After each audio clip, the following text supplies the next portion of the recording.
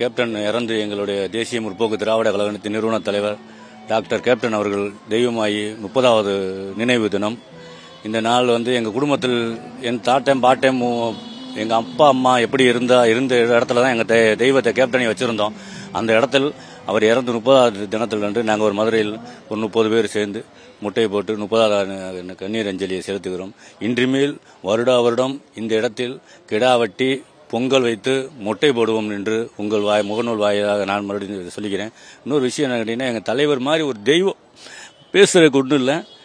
தெய்வம் மறைஞ்சிருச்சு மறையவே இல்லை. எங்கள் நெஞ்சில் குடி கொண்டு இருக்கிறதுனால எங்கள் தெய்வத்துக்கு வருடா வருடம் இனிமேல் நாங்கள் இதான் செய்வோம் சொல்கிற சொல்லி இந்த நேரத்தை சொல்லிக்கிறேன். என்னை அறிமுகப்படுத்தி விட்டது மதுரைக்கு மாநகரில் அறிமுகப்படுத்திய கேப்டன் என் தலைவர் தான். அந்நியாரும் அந்த தலைவரும் தான். அது நிறைவேறும் வருஷம் வருஷம் நான் வந்து மொட்டையை போடுறோம்னு வேண்டிக்கிறேன். தெய்வமாக மாறிட்டார் அவர். இந்த தேமுதிக நண்பர்கள் எல்லாத்துக்கும் ஒரு தலைவர் வர தகப்பை மாறியவர் மாவட்டம் சார்பாக சொல்லி.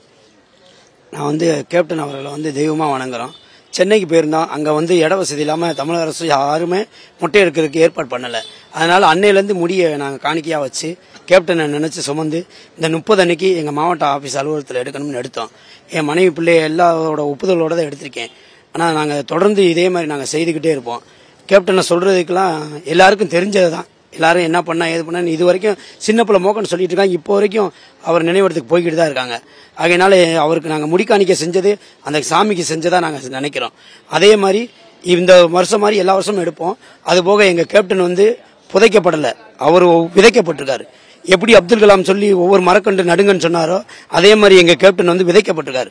அவர் இன்னொரு ஒவ்வொரு மரமாக அவர் வளர்ந்து வருவார் என்று நாங்கள் இறைவன் மேலே பிரார்த்தனை பண்ணுறோம் மொட்டை போட்ட அனைத்து நிர்வாகிகளுக்கும் எனது சார்பாகவும் தேமுதிக கட்சியின் சார்பாகவும் நான் சார்ந்திருக்கும் கழகத்தின் சார்பாகவும் கேப்டன் அன்னியாரி விஜயபிரபாகரன் சண்முக பாண்டியின் சார்பாக நான் கேப்டன் மொட்டை போட்ட அனைவருக்கும் நன்றியை சொல்லிக்கிறேன்.